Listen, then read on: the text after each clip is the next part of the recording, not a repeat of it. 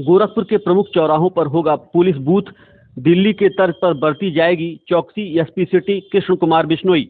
जी हाँ, आपको बता दें, एसपी सिटी कृष्ण कुमार बिश्नोई ने बताया कि गोरखपुर डेवलपमेंट अथॉरिटी के बोर्ड मीटिंग में मुख्य चौराहों पर पुलिस बूथ लगाने जैसे कि दिल्ली के तर्ज पर इंटीग्रेटेड फैसिलिटी बूथ होता है। उसमें एक पुरुष, एक महिला, कांस्टेबल, शौचालय एवं अन्य फैसिलिटीज़ होती हैं। ऐसे 50 प्रमुख चौराहों पर लगाए जाएँगे। तथा गोरखपुर पुलिस के लिए जीडीए ने 50 अपाचे बाइक्स देने का वादा भी किया है, जिससे दिन व रात्रि के समय में पेट्रोलिंग की जा सके। एवं क्विक रिस्पांस के तर्ज पर सभी बाइकों का प्रयोग किया जाएगा। उसके साथ साथ जिस प्रकार शहर बड़ी तेज़ी से बढ़ रहा है, रोड उतनी चौड़ी नहीं हुई है, काफ़ी कंजंक्शन रहता है।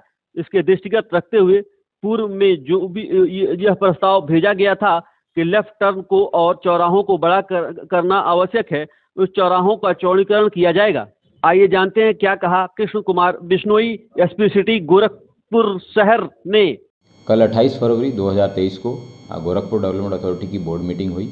बोर्ड मीटिंग में पूर्व से प्रेषित प्रस्ताव जिसमें आइकॉनिक जगहों पर पुलिस बूथ लगाना जो कि दिल्ली पुलिस की तर्ज पर इंटीग्रेटेड फैसिलिटेशन बूथ होता है जिसमें एक कांस्टेबल पुरुष कांस्टेबल महिला कांस्टेबल शौचालय एवं उसके साथ साथ अन्य प्रकार की फैसिलिटीज़ होती हैं। वो एक बूथ 50 आइकॉनिक जगहों पर सेटअप किया जाएगा। उसके साथ साथ गोरखपुर पुलिस के लिए जीडीए ने 50 अपाचे बाइक्स देने का भी वादा किया है, जिससे कि दिन एवं रात्रि के समय पेट्रोलिंग सुनिश्चित की जाएगी एवं क्विक रेस्पॉन्स के तौर पर उन सब बाइकों का प्रयोग किया जाएगा। उसके साथ साथ जिस तरह शहर जिस गति से बढ़ रहा है रोडें उतनी वाइडन नहीं हुई हैं, चौराहों पे काफ़ी कंजेशन रहता है। उसको दृष्टिगत रखते हुए पूर्व में भी ये प्रस्ताव भेजा गया था कि लेफ़्ट टर्न फ्री कराया जाना आवश्यक है और चौराहों को बड़ा करना आवश्यक है। तो चौराहों का चौड़ीकरण किया जाएगा और उसके साथ साथ चौराहों पर लगी विभिन्न प्रकार के बिजली के पोल वगैरह उनको अंडरग्राउंड किया जाएगा एवं रेड लाइट वगैरह हैं, इन सबको या तो किसी पोल पे माउंट करके ऊँची जगह पे ले जाया जाएगा ताकि सड़क और तिराह जो भी है वो एकदम लेफ़्ट टर्न फ्री हो और चौराहों का चौड़ीकरण हो।